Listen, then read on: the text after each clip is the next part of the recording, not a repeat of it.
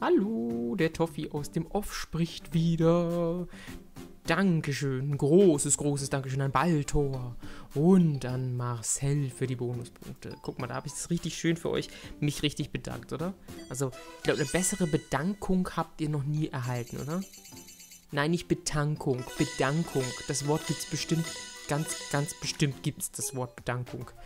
Ähm, nee, so, so, so toll bedankt hat sich bei euch noch niemand. Das wollte ich eigentlich sagen, aber äh, das ist halt wieder Toffi-Moment während man einfach nur Danke sagen will, erfindet man einfach ganz spontan ein neues Wort. Ist doch mal was, oder? So, und während Vergangenheitstoffi so tut, als würde er ein Auto fahren mit seinem Ring, das ist mega lustig, Toffi, wir haben alle gelacht, äh, ich habe schon Seitenstechen,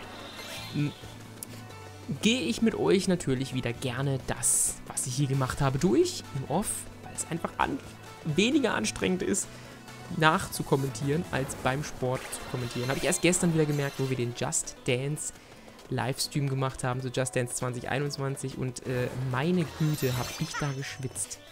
Ich habe sogar so hart geschwitzt, ich habe einen richtigen... Äh, darf, darf, man das sagen? Ich weiß nicht, ob man das sagen darf. das könnte ein bisschen eklig rüberkommen. Tatsächlich, ich weiß, ich sag's jetzt einfach. Äh, hört einfach, hört all, alle zart beseiteten da draußen, hört bitte einfach kurz mal weg. Okay? Ähm, ich habe äh, einen Ausschlag bekommen. Ich lasse es jetzt einfach mal auf euch wirken, okay?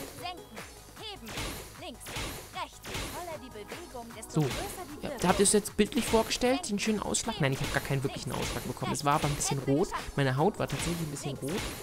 Ich glaube, das lag daran, dass ich ähm, die Hose ein bisschen zu eng hatte. Ich weiß nicht, bin ich fetter geworden? Ist die Hose eingelaufen? Ich bin voll und ganz für die Tatsache, dass die Hose eingelaufen ist. ist anders kann das gar nicht sein. Ich bin noch nicht dicker geworden. Niemals. Never, ever. Nee, tatsächlich war es ein bisschen, war es ein bisschen rötlicher. Und dadurch, dass ich noch geschwitzt habe, habe ich halt eben dann noch Salz auf der Haut gehabt und so. Und dann habe ich mich halt immer die ganze Zeit gekratzt und so. Ich war nicht so schön. Ich war dann zwar noch mal duschen, ganz klar, ne? Wenn man geschwitzt hat, dann geht man noch mal duschen. Da mit dem, mit dem Jucken hat aber nicht ganz aufgehört. Eigentlich wollte ich, habe ich überlegt, ob ich eincremen soll. Habe es dann aber doch lieber gelassen weil ich ungerne meinen Körper mit irgendwelchen komischen Sachen einschmiere oder so. Nicht, weil ich jetzt totaler Verfechter dieser ganzen Chemie bin oder sowas. Natürlich sollte man nicht übermäßig viel Chemie auf den Körper klatschen, aber mir geht es haupt... Was machst du denn da, Toffi? Ja, du bist ein ganz toller. Ja, deine Haare sind viel zu lang. 1. März kannst du wieder abschneiden. nee, tatsächlich war es... Ähm, ähm, ist es bei mir halt einfach so, dass ich das Gefühl eklig finde, wenn ich das irgendwie, was weiß ich, keine Ahnung, mein Bauch oder sonst was drücken, eincremen mit irgendwas. Ich finde, das fühlt sich eklig an. Oh, Suchbrummer. Verwandle dich in einen Baum und warte. Ja, verwandle dich mal in einen Baum, Toffi. Wir haben ja gerade festgestellt, dass du die Masse dafür schon hast.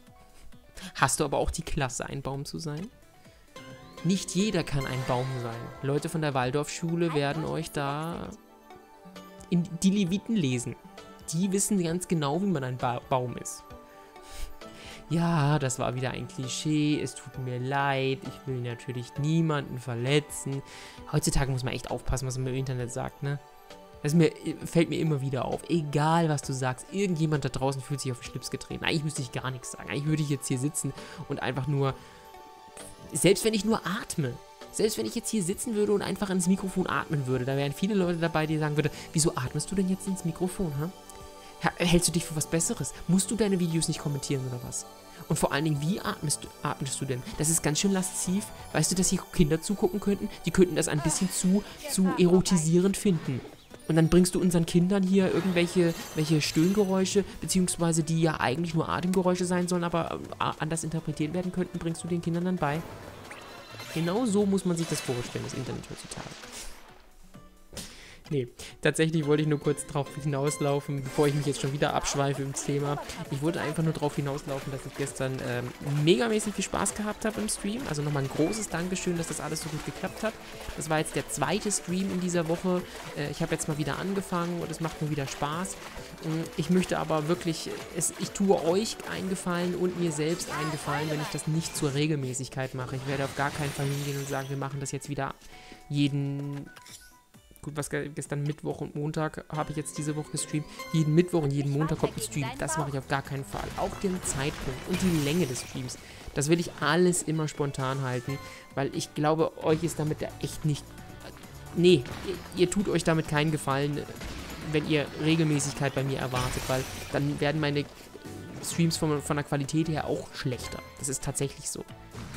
Je länger ich an, mich an irgendwelche Pflichten gewöhne, also so nach dem Motto, so, je länger ich hingehe und sage, äh, ich mache das jetzt so und so und so in Regelmäßigkeit, dann kommt ein Schlendrian rein und dann zwinge ich mich zu gewissen Dingen und dann wird es auch nicht so schön, ganz ehrlich. Mal abgesehen davon, dass man sowieso, ja, ein Hobby, was ich hier betreibe, nicht zu sehr als Verpflichtung sehen sollte, dann leidet ja sowieso die Qualität darunter, ne? Ganz klar. Trotzdem hat es mir mega Spaß gemacht, auch Just Dance, interessanterweise, ähm, ist Just Dance ein Spiel, bei dem ich gedacht hätte, dass es euch vielleicht auch am wenigsten interessiert, weil ich ja quasi mit euch gar nicht interagieren kann. Aber es haben viele Leute mitgetanzt, fand ich immer richtig geil. Also ihr habt, äh, ich habe dann einfach mal gewartet, bis ich den Tanz angefangen habe, dann habt ihr schnell den Tanz auch angemacht und dann haben wir halt parallel zueinander getanzt. Wir hätten natürlich auch den World Dance Floor nehmen können, aber na, das Blöde an World Dance Floor ist halt, dass wirklich nur 2021er Songs drin vorkommen. Oder fast nur. Und viele von euch haben halt 2021 nicht Just Dance 2021 und deswegen habe ich dann gesagt, komm, mach mal einfach Unlimited und ich warte kurz und dann können wir einfach die Punkte vergleichen. Jo, genau. Naja, jedenfalls äh, hat es mir auf jeden Fall mega äh, Spaß gemacht, auch wenn ich äh, sehr, sehr angestrengt war. Vor allen Dingen, weil ich am Tag, äh, gestern am gestrigen Tag sogar schon Just Dance gemacht habe, am Mittag. Und dann am Abend nochmal. Und ich habe gestern Ring Fit aufgenommen. Das, was ihr hier seht, habe ich gestern aufgenommen. Alter, ich habe richtig viel Sport gemacht gestern. Trotzdem fühle ich mich heute noch nicht so, nicht so fit. Nicht so hundertprozentig fit. Aber eine Sache möchte ich mit euch nochmal ganz kurz besprechen und zwar eine Sache, die ich tatsächlich in letzter Zeit ausprobiere und bei der ich tatsächlich auch das Gefühl habe, dass sie mir ein kleines bisschen hilft. Und zwar habe ich angefangen, richtig vernünftig zu schlafen. Jetzt werden viele von euch da draußen sitzen und denken, ja gut, Toffi, schlafen ist keine Kunst du hast jetzt einfach nur angefangen länger zu schlafen, ist jetzt nicht unbedingt gerade die große Erkenntnis, oder? Nee, tatsächlich habe ich nicht länger geschlafen. Ganz im Gegenteil. Ich glaube, tatsächlich schlafe ich momentan sogar weniger, aber ich schlafe richtiger. Was bedeutet das? Und zwar habe ich angefangen, kein Kissen mehr zu benutzen. Ich habe irgendwo mal gehört, dass es wenn man ein Bauchschläfer ist, wie es bei mir der Fall ist, soll man kein Kissen benutzen. Weil die, der Körper, wenn er auf dem Bauch liegt, ja eigentlich quasi, also auf dem Bauch schlafen ist generell eigentlich nie eine gute Idee, weil ihr dann halt eben mit dem, mit dem Kopf nach rechts und links euch drehen müsst, weil logischerweise könnt ihr nicht mit dem Gesicht in die Matratze drücken. Also das hm, erstickt ihr und dann könnt, dann ist Schlafen euer geringstes Problem, ne? nee, ähm, Deswegen kann ich es aber nicht ändern. Ich bin halt Bauchschläfer und deswegen habe ich halt einfach das notwendigste Übel, äh, beziehungsweise die Notwendigkeit gesehen, ein bisschen was an meinem Schlafen zu ändern. Und habe dann gesagt, okay, ich benutze jetzt mal kein Kissen. Weil, wenn ihr ein Kissen benutzen würdet, selbst wenn es noch so das dünnste Kissen ist, ihr seid Bauchschläfer und nehmt ein dünnes Kissen, drückt ihr euren Kopf ein bisschen nach oben, weil euer Körper ja natürlich schwer ist und sich in die Matratze drückt, aber der Kopf wird mutwillig nach oben gedrückt durch das Kissen. Und gerade wenn es noch ein hartes Kissen dazu ist, dann kann der Ko Kopf ja gar nicht nachgeben so richtig. Und das führt auf Dauer zu Verspannungen. Und das Problem habe ich seit geraumer Zeit. Tatsächlich. Ich habe immer wieder das Problem, dass wenn ich am Computer sitze, dass mir schwindelig wird. Mir wird, ähm, mir wird ein bisschen übel manchmal. Und ähm, im ersten Moment würde man denken, hä, ja gut, dann hast du irgendwie ein bisschen krank oder sonst irgendwas, keine Ahnung. Nee, das sind tatsächlich Verspannungen. Und das war, sind extreme Verspannungen. Wenn du, wenn dir schwindelig wird, bei ganz normalen Tätigkeiten wie Sitzen, wenn dir dann schwindelig wird, dann ist der Körper in einer Position, in der er ähm, quasi mit diesen Verspannungen nicht umgehen kann.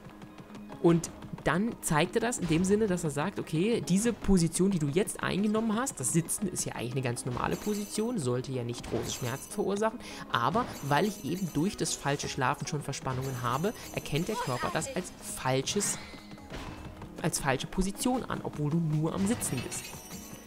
Weil beim Schlafen kriegen wir halt einfach gewisse Unannehmlichkeiten nicht mit. Ich krieg's immer nur am Morgen mit. Wenn ich morgens aufstehe und ich habe eben auf dem Bauch geschlafen mit Kissen, das war bisher immer so, bin ich morgens aufgestanden und habe gemerkt, na, mein Körper fühlt sich nicht richtig gut an. Also es hat sich ein bisschen hier ein bisschen gezwickt und da ein bisschen gedrückt und so weiter. Und ich habe das immer, ja, über, übersehen, kann man das so sagen? Nee, ich habe es halt nicht beachtet. Es hat mich nicht wirklich interessiert. Ich habe gedacht, ach komm, ja gut, jeder hat Verspannungen, liegt vielleicht an der Matratze, hole ich mir vielleicht irgendwann mal eine Matratze und bla bla bla. Jetzt habe ich tatsächlich mal ausprobiert. Ich habe wirklich mal versucht, wie es ist, wenn man kein Kissen benutzt. Und Leute, ich sage euch was, es ist die mega Umstellung. Wisst ihr eigentlich, wie schwer es ist, aus diesem Trott rauszukommen? Es ist, es ist richtig, richtig heftig, ein, neue, ein neues Schlafverhalten sich einzutrainieren. Das, das, ist echt, das ist echt fies. Probiert es mal aus. Ähm, noch fieser ist es, wenn ihr eure Schlafposition ändert. Das habe ich nämlich auch schon versucht. Äh, nicht mehr auf dem Bauch schlafen zu wollen, sondern auf dem Rücken. Ich krieg's nicht hin. Ich brauche wirklich eine Stunde. Das letzte Mal, wo ich das getestet habe, habe ich eine Stunde gebraucht, bis ich irgendwann aufgegeben habe, weil ich gesagt habe, nee, jetzt, jetzt habe ich schon eine Stunde verschwendet, damit auf dem Rücken zu liegen. Damit ich überhaupt noch ein bisschen, oder damit ich am nächsten Tag halt genug Schlaf bekommen habe. Muss ich jetzt langsam mal einschlafen, habe mich dann kurzerhand auf den Bauch gelegt und dann ging es wieder. Dann bin ich sofort eingeschlafen. Gefühlt. Also natürlich weiß ich nicht, wie lange es letztendlich gedauert hat. Weiß man ja nie ganz genau beim Schlafen, das ist ja so ein schleichender Prozess. Aber ähm, es ist auf jeden Fall deutlich schneller gegangen und natürlich ist das Kopfsache. Das weiß ich auch. Also wenn jetzt jemand von euch in den Kommentaren schreibt, Toffi, das ist alles nur psychologisch gesehen und so. Natürlich, das ist Kopfsache. Ihr könnt in jeder Position könnt ihr schlafen. Es sei denn, ihr habt chronische Rückenprobleme oder sonst irgendwas. Dann ist es natürlich was anderes. Dann müsst ihr euch an gewisse Schlafpositionen gewöhnen.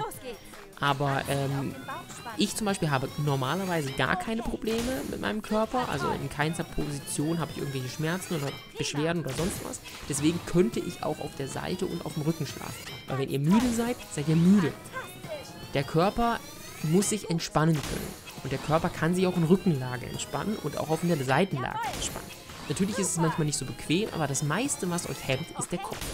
Und deswegen habe ich es jetzt einfach mal einfacher versucht und es ohne Kissen versucht. Und siehe da, auch wenn es mir schwer fällt, ich wache im, nachts immer noch ein kleines bisschen auf und habe dann irgendwie das Gefühl, da ist was nicht richtig, weil ich halt eben kein Kissen habe.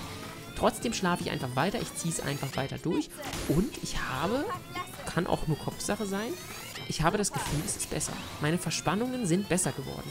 Ich mache das jetzt seit einer Woche ungefähr. Ein bisschen weniger als eine Woche ist das. Und ich bin der Meinung, es klappt einigermaßen gut. Und ich gewöhne mich auch daran, ohne Kissen zu schlafen. Ich finde es echt toll. Doch. Und vor allen Dingen, wenn ich dann halt eben weniger gestresst bin, äh, weil eben die Verspannungen können einen auch stressen, weil man dann das Gefühl hat, man, man, man hat permanent irgendwo ein Wehwehchen. Das drückt auf die Stimmung und das stresst einen. Und das habe ich dann auch gemerkt. Gerade mittags, um die Mittagszeit rum, da wo ich, wo der kleine Mittagsschlaf macht und ich wirklich endlich mal Zeit habe, was Vernünftiges zu machen, da haben mich dann eben die Verspannungen immer genervt. Dann habe ich mich vom Computer gesetzt, habe irgendwas gemacht und ähm, habe dann gemerkt, oh scheiße, jetzt ist mir schon wieder schwindelig, ich muss schon wieder eine Pause machen. Jetzt bewegst du dich mal kurz einen Moment, aber wenn du dich dann mal bewegt hast, du, du Fit oder Just Dance oder sonst irgendwas, dann hast du gemerkt, du bist wieder am Arsch, bist wieder müde, dann musst du dich mal kurz wieder hinsetzen, äh, total übermüdet und, äh, und, und äh, ja, geschlaucht willst du natürlich auch nichts kommentieren, wenn du jetzt ein Video aufnehmen willst oder sowas. Also das ist alles nicht ganz so einfach gewesen. Deswegen habe ich eben entschlossen, mich dazu entschlossen, hinzugehen und zu sagen, probier es einfach mal aus und ich kann jedem empfehlen, einfach mal es auszutesten. Es kann sein, dass es bei euch nicht funktioniert, aber für den Fall, dass ihr die gleichen oder ähnliche Beschwerden habt, wie ich es habe, dann probiert es einfach mal aus ändert euer Schlafverhalten. Ich habe gehört, auf dem Rücken soll man am besten ein, ähm, ja, ein, ein kleines, ein dünnes Kissen verwenden, weil auf dem Rücken ist natürlich euer Kopf ein bisschen überstreckt. Also wenn ihr auf dem Rücken liegt, äh, kann es durchaus sein, dass euer Kopf so ein kleines bisschen überstreckt. Und gerade diejenigen von euch, die halt eben wie ich sind und immer gerne ein Kissen haben, die, die dürfen dann, wenn sie Rückenlage haben, auch nicht darauf verzichten, also müssen nicht darauf verzichten. Sie können sich dann einfach ähm, ein dünnes Kissen nehmen und dann darauf schlafen. Das soll anscheinend okay sein, wenn man eben mit dem Nacken da so ein bisschen gestützt bekommt. Auf der Seiten, äh, in der Seitenlage, also wenn ihr auf Seitenschläfer seid, da ist es nochmal anders. Oh, war das knapp. Ganz knapp noch auf die Plattform geschafft. Seitenlage ist nochmal anders, weil ähm, da dürft ihr durchaus ein etwas dickeres Kissen nehmen, weil äh, jetzt legt euch mal auf die Seite und legt das Kissen auf die Matratze. Ihr seht, dass euer, euer Nacken total überstreckt. Nach rechts oder links, je nachdem, auf welcher Seite ihr liegt. Und da solltet ihr sogar ein Kissen verwenden, weil sonst, ansonsten entspannt sich das, äh, die Rückenmuskulatur, die Nackenmuskulatur nicht richtig. Die überdehnt dann und äh, ist dann auch die falsche Position und deswegen solltet ihr dann äh, auch ein Kissen verwenden. Genau, so viel dazu. Und äh, ja, probiert es einfach mal aus, würde ich mal sagen. Nee, Pause gibt's nicht. Tatsächlich hat der Part heute wieder Überlänge. Das ist unglaublich, ne? Ah, Turmsegler. Ich glaube, ich weiß nicht, ich habe immer lange Zeit gedacht, dass, dass dieses, die, die Scheiben, Scheibenschwung, Scheibenschießen, Dingsbums da, die, die Robos abschießen da, dass das mein Hass, meine Hassaufgabe ist, aber ganz, ganz ehrlich, ey, guck dir das doch mal an ich finde einfach, ich finde es einfach nervig, dieses ständige Geziehe. Und, und, äh, und, richtig präzise kannst du dann auch nicht sein, weil der irgendwie, manchmal bewegt er sich zu langsam, manchmal bewegt er sich zu schnell. Also irgendwie, weiß ich nicht. Welche wäre denn meine Lieblings... Ich glaube, das zur Seite bewegen ist mein Lieblingsding, weil es halt schön einfach ist. Also ihr, ihr, wisst, was ich meine. Ihr habt da diesen, ihr steht, steht auf einer Stelle und müsst euch nach rechts und links beugen mit, mit dem Körper, um dann äh, die Münzen einzusammeln, die dann kommen. Und halt eben, man muss sich zusätzlich noch beugen, um vor den Bomben wegzubeugen, kann man so sagen. Sich wegbeugen von den Bomben. Ja, das, das ist, denke ich mal, meine Lieblingsaufgabe von diesen kleinen Minigames, die hier in diesem Spiel sind. So, jetzt haben wir noch so viel Zeit, ich habe aber gar kein Thema mehr. Ich wollte eigentlich über das Thema Schlafen und äh, Kissen, Kissenentzug, das ich habe, wollte ich reden und wie es mir jetzt geht und so. Und ja, scheiße. Jetzt habe ich gar kein Thema mehr. Das ist, das ist jetzt echt ein bisschen blöd. Sonst muss ich gleich eine Pause machen und überlege mir ein Thema. Und wenn ich die Pause gemacht habe, dann rede ich gleich nochmal nach. Ist das was? Für, für euch macht es ja keinen Unterschied. Ich würde ja einfach jetzt hier ausmachen.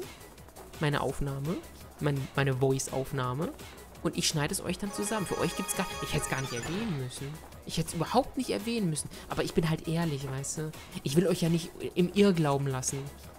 Das ist jetzt übrigens schon die siebte Aufnahme, die ich mache. Stell dir das mal vor. Stell dir vor, ich würde das alles zusammenstückeln. Ich hätte das jetzt siebenmal aufgenommen oder halt sieben Teile aufgenommen, a fünf Minuten oder sowas. Und das würde ich dann am Ende wieder zusammenstückeln. nee, so ist es nicht.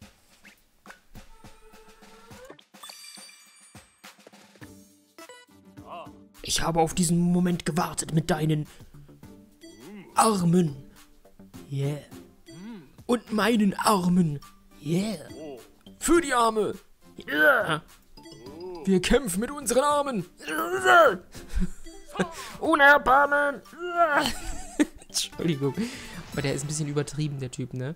Ja, ähm, der Kampf ist echt heftig, denn wenn ich das richtig, ja genau, hier steht Sieg nur mit bestimmten roten Übungen. Da hatte ich kurzer, kurzerhand das Gefühl, ich müsste mein Portfolio ändern, aber das Spiel gibt einem zum Glück die Übungen vor. Ihr müsst euch darauf nicht vorbereiten, das finde ich immer sehr, sehr schön. Klar, ist natürlich dann auch schwieriger, wenn das Spiel sich für, für geringschätzige Übungen entscheidet, aber ähm, es ging in dem Falle jetzt trotzdem einigermaßen.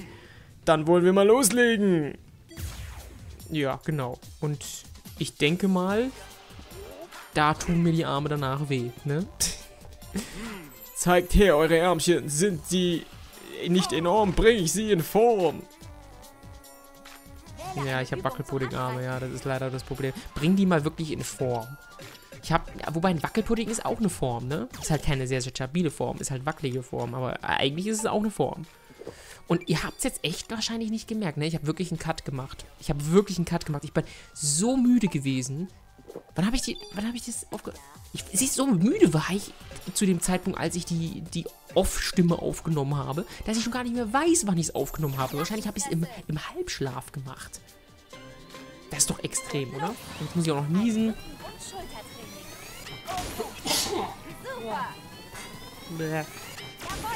So, wer kommt aufwischen? Jetzt die ganze Rotze auf dem Boden. Nee, Quatsch, natürlich nicht. Alter, als ob. Nee, tatsächlich war ich mega, mega müde. Das habe ich in letzter Zeit mittags sehr, sehr häufig. Und jetzt gerade in diesem Moment auch. Ich habe gerade eben zum Mittag gegessen. Ich habe den Kleinen zum Mittagsschlaf gebracht und habe dann zum Mittag gegessen. Hm, heute ausnahmsweise mal getrennt voneinander. Normalerweise essen wir immer zusammen. Aber in diesem Falle getrennt voneinander, weil ich, ähm, ja, ich habe was gegessen, was er nicht mitessen kann. Und ich wollte nicht, äh, also ich habe, dann, dann, kann ich mich auch ein bisschen besser konzentrieren, das zu machen. Und ja, keine Ahnung. So. Jedenfalls habe ich jetzt gegessen, jetzt bin ich so voll gefressen, dass ich schon wieder nichts mehr schaffe. Stell mir vor, ich würde jetzt Ringfit machen, also ich stelle es mir jetzt gerade vor. Ich glaube, ich würde irgendwie auf den Boden kriegen, würde alle Bodenübungen machen, wo ich einfach nur auf dem Boden liegen muss und irgendwie die Beine bewegen muss oder so. Genau das würde ich jetzt tun. Wobei die Arme, das geht. Wobei, nee, die Arme. Oh ja, und das tut in den Armen weh. Ich merk's. Vor allen Dingen, eben, ich habe mir da jetzt gerade an die Brust gefasst. Tatsächlich ist mir aufgefallen, dass bei diesen Armübungen, da habe ich ja jetzt wirklich ganz viele Armübungen hintereinander machen müssen, weil wir ja andere Sachen gar nicht nehmen dürfen bei diesem Kampf hier. Und da ist mir aufgefallen, ähm, je stärker du die Arme verwendest, umso mehr merkst du das auch in der Brust. Ich habe das immer für so ein bisschen, ja, ich weiß nicht, mehr Mythos würde ich das jetzt so nicht sagen, aber zumindest ein bisschen abschätzig bewertet, dass man immer sagt irgendwie, ja, wenn du Armübungen machst, machst, geht es auch auf die Brustmuskeln. Das sagt man ja immer so. Liegestütze zum Beispiel gehen ja auch hauptsächlich auf die Brustmuskeln und nicht auf die Arme. Ich glaube nur geringfügig auf die Arme und eher auf die Brust. Und ich habe das immer so abgetan, habe gesagt, ach Quatsch, ach, ach, das sind doch alles Armübungen. Natürlich geht es auf die Arme und bla bla bla und so weiter und so fort. Nee, da habe ich es wirklich gemerkt. Ich habe wirklich gemerkt, dass das ziemlich stark auf die Brust übergeht. Und bei mir war es halt genau in dem, in dem Mittelpunkt. Also, ich hoffe, ich kann das richtig erklären. Da, wo, ähm, wenn ich zwei Brüste hätte, zwei große Brüste, da, wo die sich beide in der Mitte treffen, da habe ich die Schmerzen gehabt. Also nicht wirklich Schmerzen, also ein Druck war das. Es war halt ein leichter Druck, den ich da verspürt habe. Und es war immer, nachdem ich eben gerade hauptsächlich diese Übungen, die ich jetzt hier gerade zum Beispiel mache, ähm, solche Übungen gemacht habe, die sehr, sehr stark die Arme beanspruchen, äh, die Oberarme beanspruchen. Da habe ich es dann halt eben im, im Brust, im Brustbein. Ich glaube, ich glaube, das heißt das Brustbein, ne?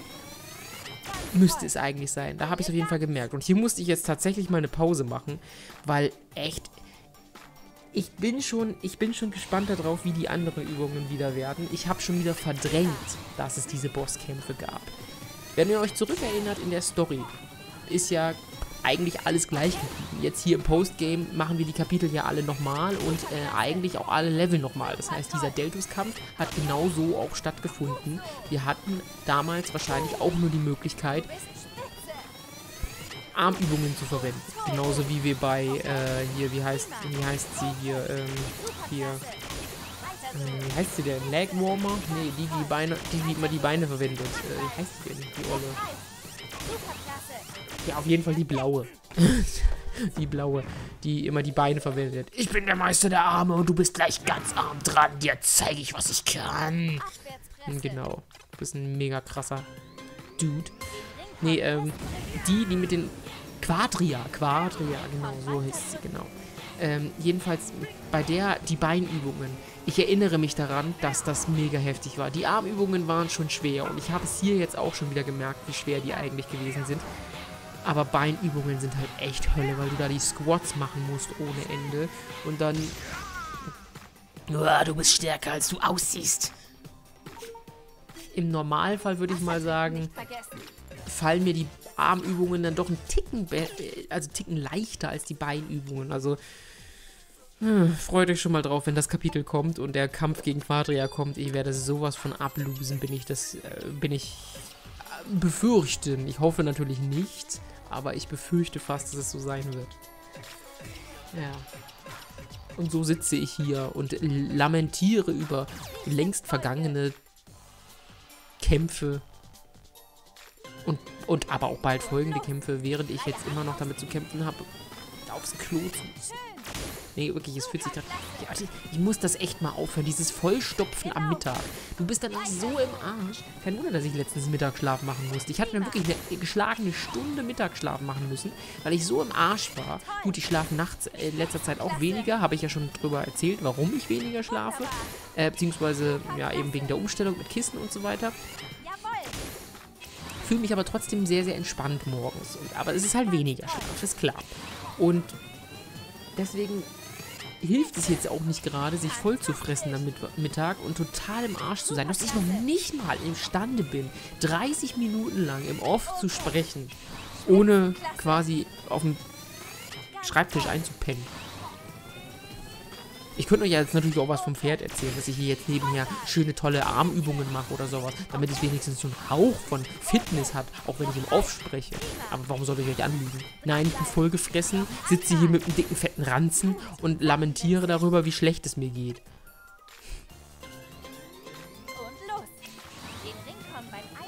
Ein positives kann ich allerdings noch, äh, noch sagen. Und zwar kam heute Super Mario 3D World. Äh, nee, kam gar nicht an. Ich laber scheiße. Aber ich habe heute Super Mario 3D World und Bowser's Fury gekauft. Ja, ich hatte es ursprünglich mal bestellt. Ähm, diese Bestellung habe ich allerdings wieder storniert. Ak durch den aktuellen Schneechaos in Deutschland geht es ein bisschen schwierig mit den Lieferungen. Deswegen habe ich äh, mich kurzerhand dazu entschlossen. Also es war schon abzusehen. Ich habe schon gesehen, dass das eben nicht ankommt. Rechtzeitig das Spiel. Ein anderes, Little Nightmares 2, habe ich auch bestellt. Das kam auch nicht rechtzeitig an. Das habe ich aber einfach laufen lassen, weil ich gesagt habe, gut, das brauche ich sowieso nicht recht, rechtzeitig, nicht pünktlich. Aber ähm, Mario 3D World würde ich halt gerne mit anderen zusammenspielen und die haben das heute halt auch schon alle und ich wäre dann derjenige, auf den sie warten müssten. Und dann habe ich gesagt, na gut, dann kannst du es dir auch runterladen stornierst du einfach die Bestellung und dann machst du es als Download. Ich bin zwar kein Fan davon, als Spielesammler hat man gerne eine Retail-Version, mm, aber im Zweifelsfalle ist es mir wichtiger, mit Leuten zusammenzuspielen und ähm, eben deutlich mehr Spaß zu haben an einem Spiel, als zu sagen, gut, ich habe eine Retail-Version, muss dann aber alleine das Ganze spielen. Denn ich möchte unbedingt den Online-Modus bei Super Mario 3D World testen. Und jetzt stelle ich mir gerade vor, wie geil wäre denn das bitte schön, wenn es einen Online-Modus bei Ring Fit Adventure gäbe. Also ich meine jetzt nicht, dass man das ganze Abenteuer zusammenspielt. Das wäre, glaube ich, ein bisschen zu viel des Guten. Aber jetzt stell dir mal vor, man könnte so einen Online-Kraftvergleich machen. Eben solche Übungen zum Beispiel. Wer kann schneller, ähm, was weiß ich, Ringheben machen? Man gibt ja diese Powerphasen, wenn du den Gegner hast. Gegner hast du in der Mangel, machst du so die Powerphase und dann kannst du ja wahnsinnig schnelles Ring heben und dann, was weiß ich, hast es am Ende geschafft, auf 75 Mal den Ring gehoben oder so. Und das gegen andere online. Das wäre mega cool. Das hätte ich mit euch gerne mal gemacht. Wäre eine Option für Ring Fit Adventure 2, wenn es denn irgendwann mal kommen sollte. Und ja, ich habe es geschafft, Leute. Ich habe tatsächlich auch deutlich mehr Erfahrungspunkte bekommen, weil ich den Trank natürlich verwendet habe. Ich habe zwar ein bisschen mehr gehofft, aber ah, nicht ganz das Armutszeugnis, das ich erwartet hatte. Aber ähm, es ist in Ordnung. Ne? Also ich meine, wir sind sowieso überlevelt. Ich muss da eigentlich nie übertreiben, aber ich will halt unbedingt jetzt Skilltree noch ver vervollständigen. Und das dauert ganz schön lange tatsächlich. Irgendwie habe ich das Gefühl, es könnte vielleicht sogar sein, dass ich den Skilltree gar nicht mehr vervollständigen kann. Die Level kommen ja immer später.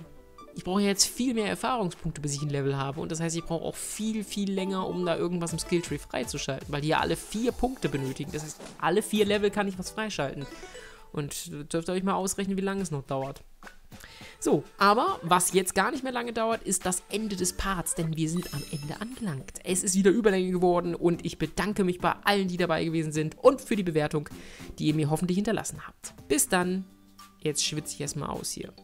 Bäh. Tschüss.